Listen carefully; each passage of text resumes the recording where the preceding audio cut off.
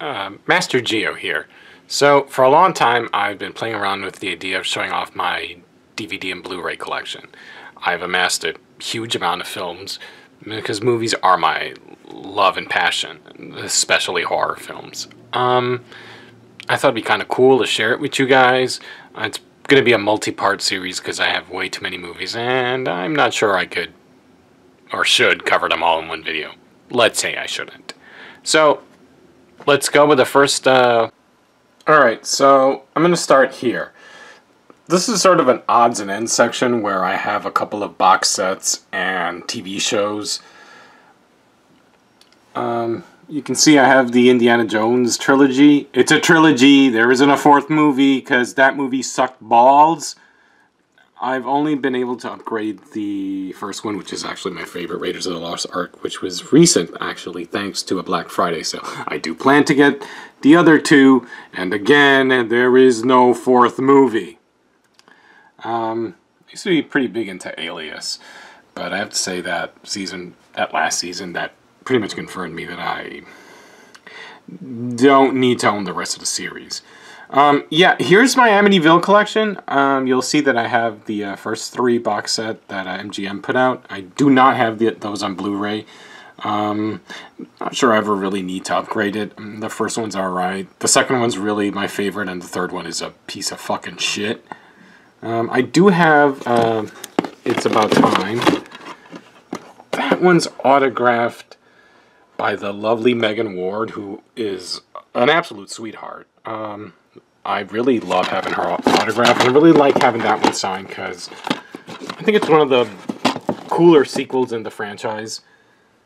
Um, I recently got the remake on, upgraded it to Blu-ray. I should note that usually when I upgrade something to Blu-ray, I get rid of the DVD because it's taking up space unless it's autographed or otherwise. There's another reason I keep it, and I'll let you know when those come up. Um, yeah, so I basically own all the Amityvilles I like. If I don't own it, it's because it's either an Amityville I never saw or because it's a piece of shit. Uh, I, yeah, I have two of the Arrow seasons. Um, I have to say that that show does not hold up to repeated viewing, so I will not be adding any more Arrows to my collection. Sorry. Art of the Devil, uh, Battlestar Galactica, one of the few shows I own every season of. I really believe it to be one of the greatest sci-fi shows of all time. Actually, let's go back there and I'll show you that I've got a couple of autographs on season one of Battlestar Galactica. Kind of sucks that they don't do more shows to people from Battlestar, I mean, because I would love to get more autographs. But I have a couple here.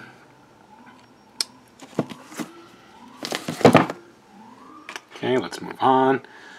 Um, big H.G. Lewis fan. Uh, this is actually one of my oldest box sets. Um, I got it around the time he was doing, I believe it was a Fangoria Weekend of Horrors. I was hoping to get it signed, but he wasn't signing at that one. I would meet him years later.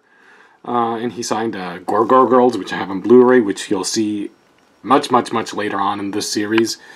We get to Buffy. I don't have a complete Buffy series, but I have a couple of the seasons, and um, the first one I actually have it autographed by um, two people. Uh, the lady who played Jenny Calendar and the lady who played uh, Buffy's mom. Both were very nice. Uh, again, I um, really wish more Buffy people did conventions.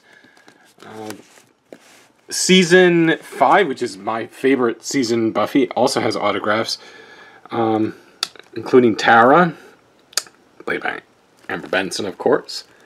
Um, I met Amber actually at a comic book shop. He was she was doing a signing there of her book, and um, I also have Glory's autograph. Uh, Glory is my all-time favorite villain, so meeting her was like fucking beyond awesome.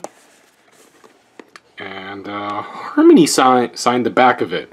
So I that was the last actual uh, Buffy autograph I ever got. Um, we move down here. You can see I've got the Clint Eastwood and Dirty Harry box set. Um, Kind of wish I had bought this when I owned Blu-ray, but I love this box set. I'm not going to be upgrading it because it, don't want to get rid of it. It's got so much cool stuff, and it cost me a pretty penny too. Back when I bought it, probably costs a prettier penny now, I guess. Uh, Tokyo Shock triple uh, feature. Uh, Transformers, the only uh, one of the only other TV shows, if not in fact the only other TV show that I own every season of. I am a huge fan of the Transformers Gen One. I uh, I'm so happy to own these because I can watch these over and over again. Transformers always gets me in a good mood. Um, you'll see that I actually did keep my Transformers the movie DVD mostly because of the toy commercials, which are not on the phenomenal Blu-ray release by Shout Factory. Otherwise, if it wasn't for that, I'm the I would have gotten rid of the DVD. But um, that's why I kept it. The uh, Bayformers, the first one's the only one that's good. The other ones suck big dick and swallow. Uh, True Blood. I never got to finish completing my uh, True Blood collection. Um, I'm missing uh, one of the seasons, um, the third and the last season. It's fine. Uh, last season was hit or miss anyway. Terrible, terrible last episode. But I used to be a huge True Blood fan, and you know, um, it's really into the show. Uh, the first season, I actually have it autographed by Kristin Bauer. Um, it's one of my favorite autographs. She was fucking awesome to me. Um, each one's autographed. Each of the first three seasons that I own uh, is autographed by a different lovely lady.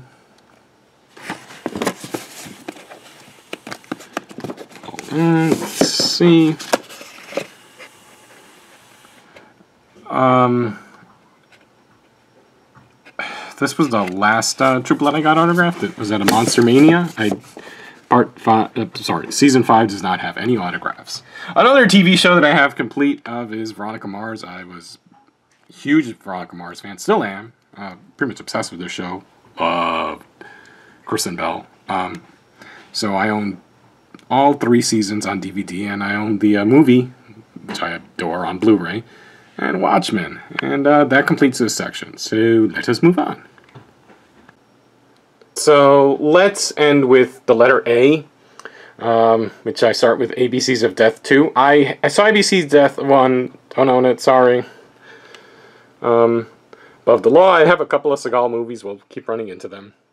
Absurd, which I uh, recent, which I picked up not too long ago, loved it. Loved Joe D'Amato. I'm, not every movie's ever made is great, but hey, he's uh, his films are filled with gore and sleaze. It's pretty much up my alley. ACDC, one of my favorite bands. We'll keep moving. Yet you'll notice that I only own the first two Aliens, mostly because I hate Alien 3. I wouldn't mind owning, wouldn't mind owning Alien Resurrection, but Aliens, by the way, is one of is my second favorite movie of all time. I absolutely love and worship that film. It is the perfect mix of horror, science fiction, and action. That is the rare perfect movie, the rare sequel that blows its original away. Can somebody please release Alligator on Blu-ray? Just saying. Great film. Grew up with it.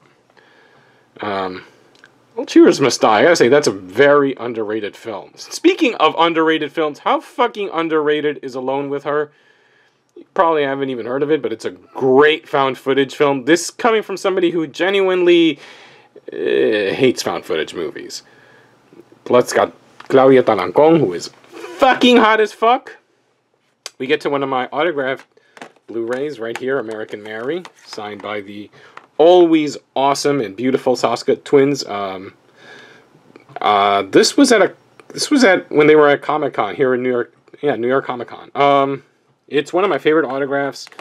They're fucking awesome. Uh, you know, uh, I'm not just biased to them because uh, they're because I'm they're friends of mine or anything of the sort. They genuinely rule. Um, I think I've interviewed them more than anybody else. Ah, here you go, a rare autograph in that my DVD of American Werewolf in London is autographed by John Landis himself. This happened at a Fangoria Weekend of Horrors. Um, I don't think he does convention, so it's pretty fucking cool to have that. Um, let's keep going down. Yeah, Anthropophagus. You know, I have to say, the second time I saw this, I liked it more than the first time. Still don't think it's a great film, but it's you know pretty decently entertaining. April Fool's Day is actually the opposite. The first time I saw it, I liked it a lot more.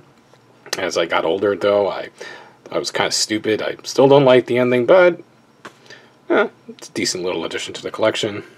Aqua Teen Hunger Force is probably one of my go-tos when I'm feeling shitty. Uh, it, it, always brings a smile to my face. It's it's one of my favorite, uh, I guess, like therapeutic shows. You'll call it. Um, yeah, I'm quite a big fan of Assault on Precinct 13. I have the, the remake is actually decent, but the uh, the John Carpenter film, of course, is classic. Audition, I cannot wait for Arrow to do the Blu-ray release of this. I would love to upgrade my DVD. The uh, All Night Long collection, uh, decent little sleazy Japanese splatter series. It's okay. So we're gonna end here with the letter with the last couple of letter A's, which extended into the uh, next tower. Um, Austin Powers, which is the rare comedies I own. You will notice that I have very few comedies. I don't like comedies. Sorry to say that, but yeah, sorry. Sorry, not sorry, actually. um, Avengers. I have to say, like, the first Avengers, I watched it so many times, I kind of got tired of it. Yeah, I think I watched it too many times. Uh, Infinity War, which is, I think, one of the best movies of last year. And uh, that's where we'll end. When I next uh, film one of these, we'll be doing the letter B. All right, till then, bye.